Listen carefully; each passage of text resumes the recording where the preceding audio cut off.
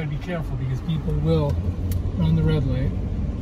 So it's uh, July, and um, Florida has over 300,000 cases of COVID-19. And this is about 6 o'clock in the evening on a Thursday. And as you can see, the beach is packed. And so far, I'm the only one wearing a mask out of everybody that I see. I mean, everybody. And, uh, which is discouraging because we're having 10,000, 12,000, 15,000 new cases every day. And uh, the death rate now is starting to soar because it took, you know, it took a while people to get sick, get in the hospital, fill up the ICUs, and um,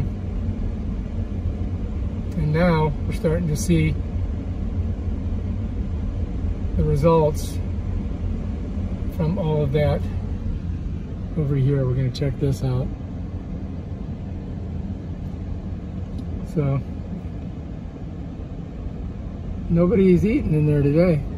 Hey, let's get back over here. Got a green light. I gotta watch I don't run over anybody. And as you can see, that guy got no mask on. So not very many people with masks. I did see a bike rider with a mask. That lady's got her mask drooped. And uh, none there. No mask there. No mask there. No masks there. I mean, people really are not taking it seriously. And uh, this looks fantastic. It looks fine. It looks like regular life. But all you got to do is go to any of the hospitals around here, and you're going to see that uh, they're getting full. We only have, in the state of Florida, there's 971 ICU beds left in the whole state, which is kind of scary. This guy's backing in. And there's a bunch of kids. Kids are like oblivious to this completely oblivious. They're just like, you know, whatever. I ain't gonna get it. And it does ravage the young too. And that's what they're starting to see, that this really isn't an old person's disease. This is an everybody disease. Six o'clock on a Thursday, and Delray is off the hook. Off the hook. This guy's turning.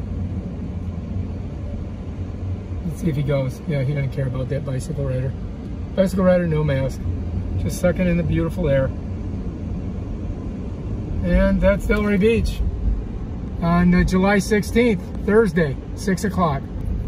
If you like this video, subscribe to my channel and check out my other crazy videos. Peace out. Stay safe. Wear a mask. Wash your hands. Stay away from people, at least 12 feet if you can. Don't go indoors where there's air conditioning. That's a sure way to get it. All right, peace out.